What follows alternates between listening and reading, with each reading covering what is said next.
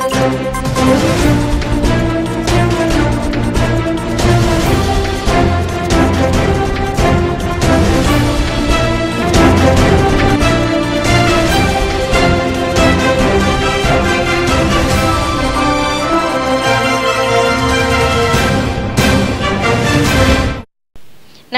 હું છું અલ્પા પરમાર જેડસ ટીવી સુપરફાસ્ટ સમાચારમાં આપનું સ્વાગત છે.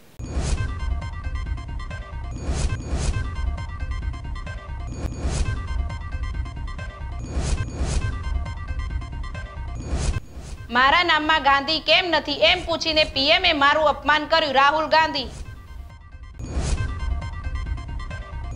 પૂર્વ સૈનિકોને સતત ઓછી મળી રહી છે સરકારી નોકરી. સરકારે જાહેર કર્યા આંકડા.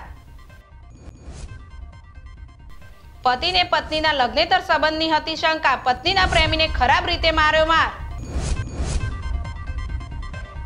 બજેટમાં માળખાકીય સુવિધા માટે દસ લાખ કરોડની ફાળવણી કરાઈ, જે બે હજાર ચૌદ કરતા પાંચ ગણી વધુ પીએમ.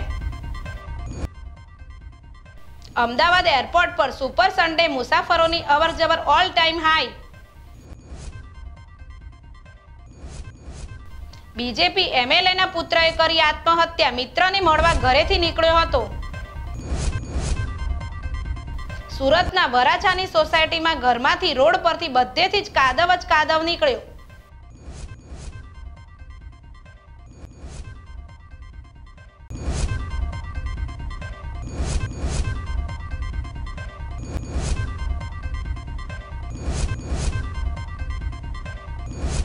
એસટી નિગમ દ્વારા મુસાફરો માટે શાંતિ અને સુરક્ષા સવારીને લઈને સાબરકાંઠા જિલ્લામાં હિંમતનગર વિભાગમાં દસ નવી બસો ફાળવવામાં આવી. ડેડિયાપાડા કૃષિ વિજ્ઞાન કેન્દ્ર ડેડિયાપાડા ખાતે નવસારી કૃષિ યુનિવર્સિટીની પંદરમી વૈજ્ઞાનિક સલાહકાર સમિતિની બેઠક યોજાઈ.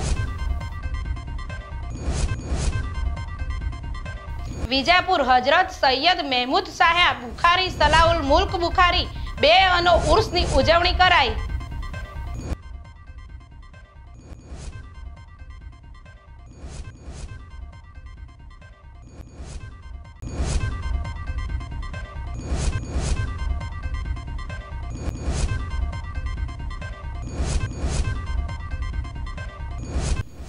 ડીવાયએસપી જેડી પુરોહિત દ્વારા દત્તક લેવાયેલ મોચીવાડ વિસ્તારમાં મહિલાઓ તથા બાળકો સાથે સંવાદ કાર્યક્રમ યોજવામાં આવ્યો. સાબરકાંઠા જિલ્લાના હિંમતનગર શહેરમાં આવેલા ગાયત્રી મંદિર પાસે રોટરી સરસ્વતી વિદ્યા મંદિરમાં આજે વેલેન્ટાઇન ડે ના દિવસે ભારતીય સંસ્કૃતિ પ્રમાણે માતૃપિતૃ તરીકે ઉજવણી કરવામાં આવી હતી, જેમાં બાળકો તેમના માતા પિતાનું પૂજન કર્યું હતું.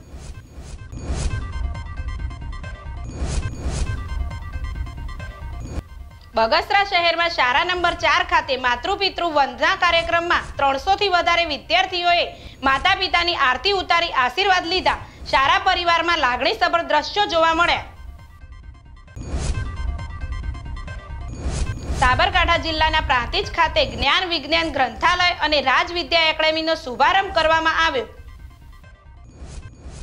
શ્રી ગુરુકૃપા વિદ્યા વિહાર હાઈસ્કૂલ રેલ્લાવાડા ખાતે ચૌદ ફેબ્રુઆરીના રોજ ગાયત્રી યજ્ઞ તેમજ માતૃ પિતૃ પૂજન કાર્યક્રમ યોજાયો.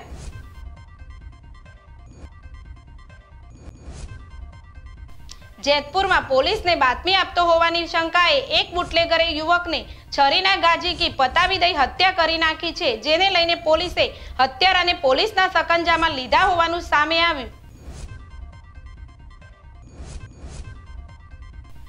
દહેગામ તાલુકાના રખિયાલ ગામે કડકડતી ઠંડીમાં તસ્કરો તરખાટ મચાવીને તેલના ડબ્બા અને રોકડ રકમ લઈને ફરાર.